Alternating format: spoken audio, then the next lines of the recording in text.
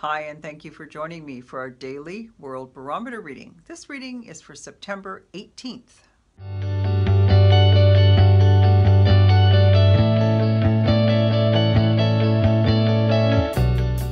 And today's energy is justice reversed, which is not having justice.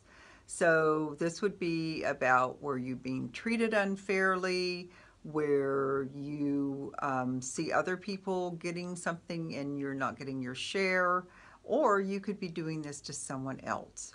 So you could be um, being mean to somebody or not treating them with equalness. If you're doing this to someone, please say you're sorry, stop, and um, don't do that again.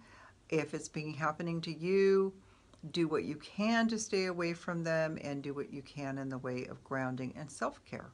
Thanks for joining me. Bye for now.